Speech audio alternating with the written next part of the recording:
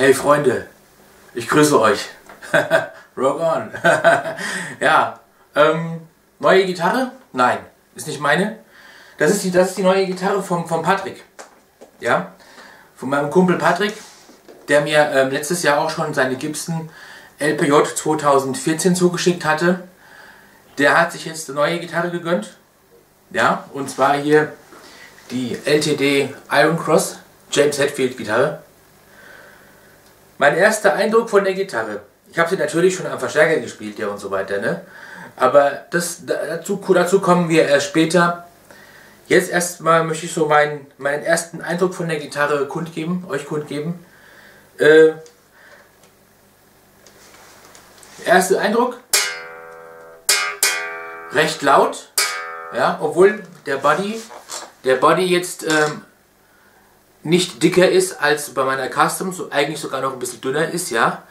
Ähm, das macht die Gitarre aber auch leichter, ja. Also ich muss sagen, die, die Iron Cross ist für eine Les Paul ähnliche Gitarre schon ein recht, ein recht großes äh, Leichtgewicht, ja. Und ähm, wir haben ja eigentlich so typische Specs von ja, so Les Paul Customs halt eben. Abgesehen mal davon, dass, dass, dass der Body halt nicht so groß ist, nicht so, nicht so dick ist. Ähm, haben wir Mahagoni-Korpus, Ahorndecke, Mahagoni-Hals, Ebenholz-Griffbrett, ja. Das EMG, James Hetfield Set, ähm, eine etwas andere Schaltung, wie man es gewohnt ist, ja. Hier ist zwar so ein, so ein Blindspot dran, ja, der aber nur optisch da ist, der hat überhaupt keine Wirkung. Ja, umschalten tut man die hier über, über diesen Switch hier unten ist halt so eine typische James Hetfield Manie, dass der ist ja klar, der Weg von hier nach da ist kürzer als von hier nach da. Ja. Aber wenn man es gewohnt ist, das Ebenholz ist einer, ist einer, ist einer guten Qualität, ja, also ich bin zufrieden. Ja. Als ich die Gitarre zu, ähm, zugeschickt bekommen habe, ich habe die Gitarre jetzt seit gestern zu Hause. Ja. Das erste, was ich gemacht habe nach dem Anspielen, erst einmal Seitenlage korrigieren. Ja, weil die Seitenlage, die war mir ein bisschen zu hoch. Ja, ich, ich mag das ja immer ganz gerne, wenn, wenn, wenn im 12. Bund äh, das, das äh, Gator Grip ähm, 1.2, Quatsch, 1.5 oder 1,5er Millimeter, wenn es in den Bünden schön hängen bleibt, ja.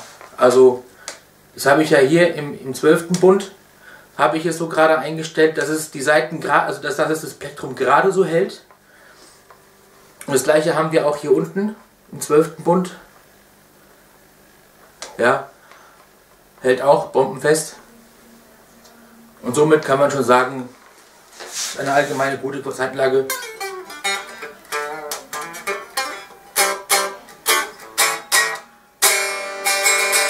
Ja. Auf mich wirkt die Gitarre sehr hochwertig. Ja. Äh, verarbeitet ist sie wirklich sehr gut. Ist mittlerweile die zweite, die der Patrick sich hat, hat, äh, hat, hat zuschicken lassen. Die erste, die hatte gravierende Mängel. Einmal war halt hier am Sattel, äh, war der, der Sattel nicht, nicht aufliegend. Da, dadurch waren die, war die Seitenlage ein bisschen zu hoch. Ja, das konntest du machen, was du wolltest. Und ähm, der Abstand zwischen, zwischen dem Sattel und dem, dem Holz des Headstocks. Ja, ähm, also hier so diese, diese, diese, diese kleine Naht zwischen dem, zwischen dem Sattel und dem Holz war, da war eine Kerbe drin. Also so, hättest du noch ein Plektrum einstecken können. Theoretisch, ja. Ging natürlich nicht. Gleich zurück. Die nächste ähm, zugeschickt bekommen, das ist jetzt die da, die da hier. Und ich muss sagen, mir gefällt sie wirklich sehr gut. Ja, ist made in, in Korea. Also was halt auffällt, ist, dass die, dass die hier diesen, diesen Bierbauchschoner reingemacht haben und dadurch dass das Binding hier quasi unterbrochen haben. Ja? Aber ich meine, die Gitarre ist kein Nitrolack, es, es, es ist dieser, das ist dieser Acryllack, also dieser, dieser, dieser Hochglanz-Finish, aber hochwertig. Ne? Und die Gitarre, ich habe sie auch schon angespielt, sie klingt auch sehr gut. Ähm, vom, vom, vom, vom Greifen her für mich, also für alle, die eine Les Paul Custom haben oder eine, eine Gitarre mit 60er Art, 60er Stil Hals Shaping, mit der Gitarre kommt, werdet ihr zurechtkommen, ja. Weil die Gitarre, die der, der Hals, er fühlt sich, es ist zwar jetzt nicht 100% identisch, mit einem 60er Hals gibt es einen 60er Hals, aber doch dennoch sehr identisch, ja. Was mir persönlich sehr entgegenkommt, weil ich bin an Glorias Hals gewöhnt und ja.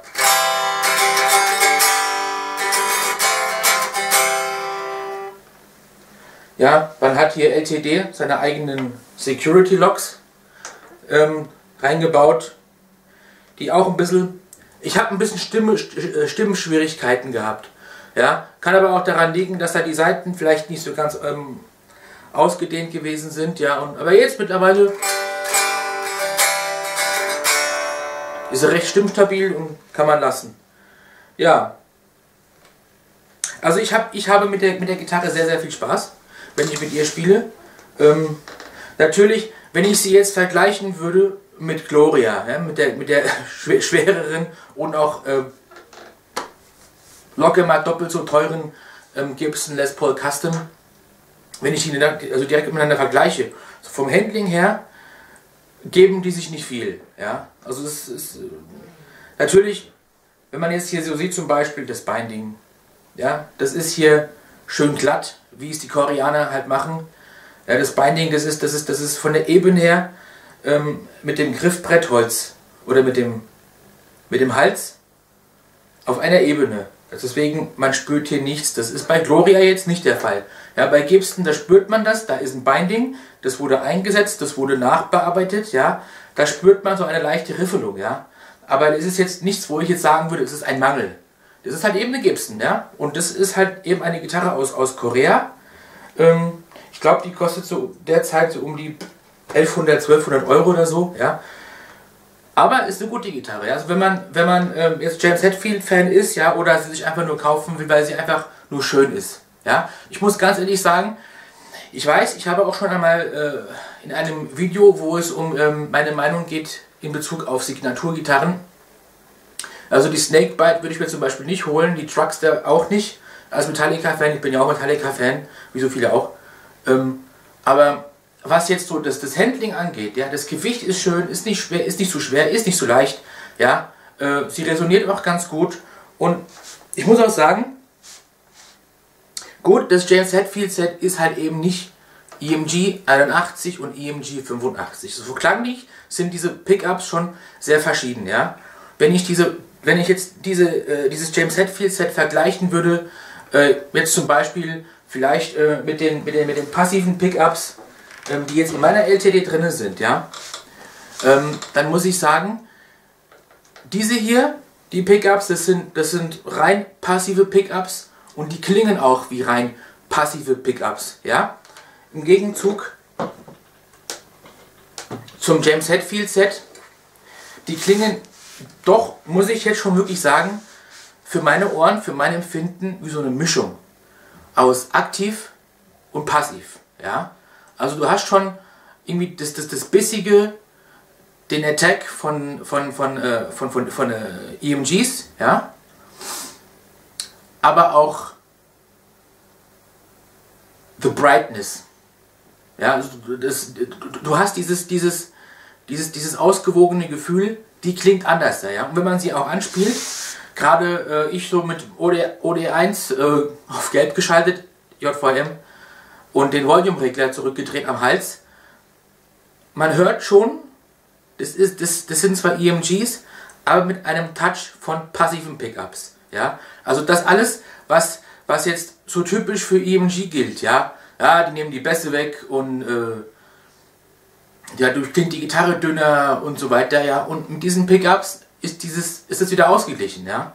Und äh, ich habe auch schon gehört, zu hören bekommen. Also den direkten Vergleich zwischen dieser Gitarre und ähm, der, der Les Paul Custom habe ich jetzt noch nicht gemacht, das kommt aber noch. Ja. Ähm, ich habe das Gefühl, das James Hetfield Set klingt, abgesehen davon, dass es ausgewogener klingt, trotzdem noch ein bisschen fetter. Ein bisschen fetter. Ja. Also die Gitarre drückt ein bisschen mehr. Ich weiß jetzt nicht, wie jetzt die Pickups klingen würden, wenn sie in der, in der, in der Les Paul Custom eingebaut werden. Ja. Ist, vielleicht komme ich irgendwann dazu, mir mal so ein James Hetfield Set zuzulegen und die Dinger mal auszutauschen. Das geht ja mittlerweile ganz schnell mit den EMG Solderless, ja, Stecker raus, Stecker rein, Fertig, ja. Mal gucken. Weiß ich ja nicht. Also jedenfalls, ähm, mir persönlich, mir gefällt das, das EMG-Set. Ist es allerdings jetzt nicht, wenn man jetzt die EMG 81 und 85 gewohnt ist, ja, und dieser Attack, diese Präzision, diese Pickups machen eine Gitarre ja sehr schnell und sehr präzise, ja. Nimmt natürlich auch ein bisschen die, die Bässe weg, das stimmt schon, ja, das ist, ist schon, stimmt schon, ja. Aber ähm, wenn du viel schnell spielst und präzise greifen willst, beziehungsweise präzise die, die Seitentrennung hören willst, ja, dann ist das jetzt hier so ein, so ein Mittelding. Ja, also so ein Kompromiss ist so, ja. ein Kompromiss zwischen, zwischen, zwischen, zwischen aktiv und passiven Pickups. Wer das mal probieren möchte, sollte es wirklich mal, sollte es wirklich mal machen. Schaden tut es nicht, auch wenn man sie sich kauft, sich ähm, nachträglich einbaut. Ähm, die sind zwar sehr teuer, ich glaube so um die 200, 250 Euro das Set, ja, aber das die EMG 81, 85er in Chrom, die ich damals gekauft hatte, ich habe dafür auch locker bezahlt, so etwa 300 Euro, ja, also es ist schon... Und musst du noch zusehen, dass ich passende Potis dazu kriege, weil halt eben, also die, die, die Potis vom Schaft her nicht, nicht lang genug gewesen sind, um sie jetzt äh, durch den dicken Body einer Les Paul Custom, einer Gibson Les Paul Custom durchzukriegen, ja. Aber wie gesagt, ähm, das war jetzt nur so ein, ein kurzes Video, ein ähm, First Impression Video von mir über diese Gitarre. Ich finde sie sehr geil.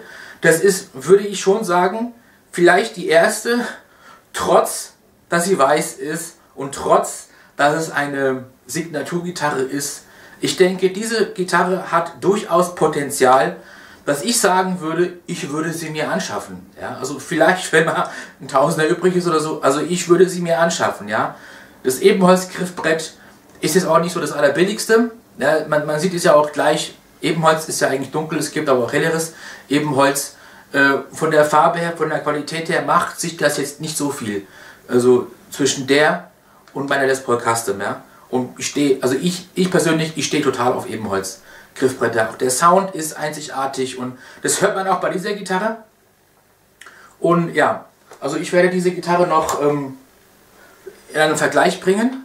Ja, das wird auch natürlich als Video geben. Ja, aber zu einem späteren Zeitpunkt. Okay, also das war jetzt erst einmal hier mein, mein erster Eindruck von dieser Gitarre.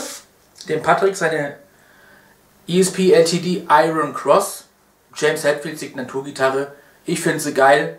Vielleicht ihr auch, wenn ihr dazu kommt, sie mal auszuprobieren, macht das ruhig. Wer weiß, wie lange es die Gitarre noch gibt, bis das nächste Modell rauskommt. ja, okay, gut. Ähm, mal sehen, was ich, wann, wann, wann ich zu einem Review komme. Wird aber auch noch kommen. Vielleicht hier bei mir, vielleicht bei, bei Guitars and Friends. Mal gucken. Okay, Freunde. Rock on.